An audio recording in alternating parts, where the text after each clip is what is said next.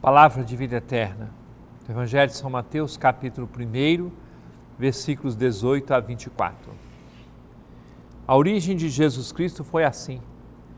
Maria, sua mãe, estava prometida em casamento a José e antes de viverem juntos, ela ficou grávida pela ação do Espírito Santo.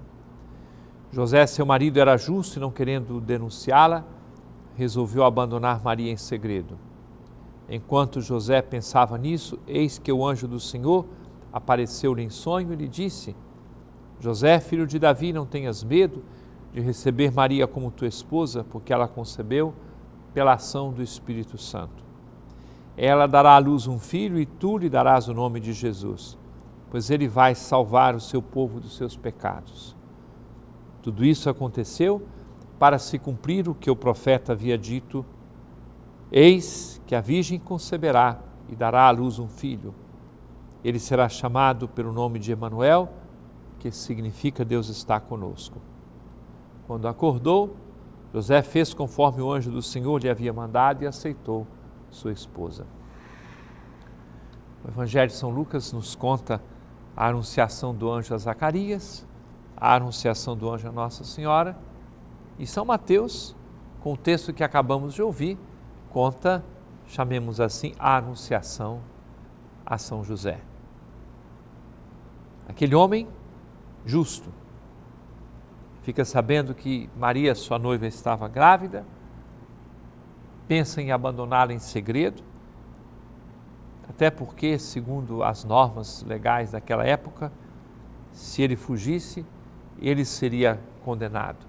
E ficando, na realidade, Maria que deve ter passado por grandes dificuldades. Muito nova, e no entanto ele enfrentou tudo e enfrentou junto com Nossa Senhora e viveu com fidelidade a sua missão.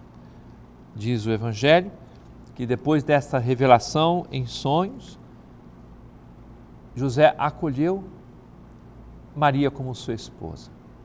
O Senhor cumpria aquilo que tinha dito pela palavra do profeta: a virgem conceberá e dará à luz um filho, e ele será chamado pelo nome de Emanuel. É assim, querido irmão, querida irmã.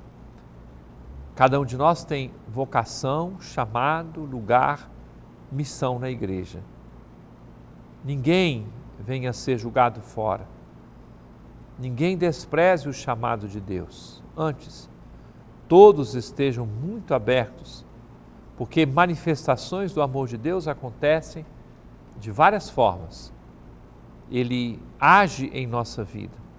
José teve revelações, teve expressões da vontade de Deus, nós, mesmo quando eventualmente não tenhamos qualquer revelação extraordinária, temos a palavra de Deus, temos a palavra da igreja, temos o testemunho dos irmãos, temos os apelos da realidade que mostram aquilo que Deus espera para cada um de nós.